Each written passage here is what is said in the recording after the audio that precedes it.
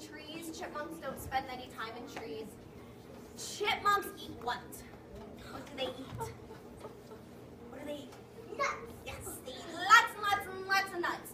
So in the late summer, early fall, these guys are going to eat lots of nuts, but they're also doing something else with those seeds.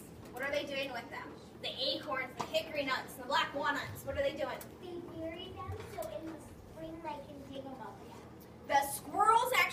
back a bit more. They do bury them, but it's a little different. Do you know? Um, they, well, they bury them in the ground. Yeah, not, they don't scatter them about, though. They actually make a, um, so they're burrow. So chipmunks live in holes in the ground. They dig out tunnels underground. They actually have a room or a space where they hoard or cache away a bunch of cache away a bunch of those seeds.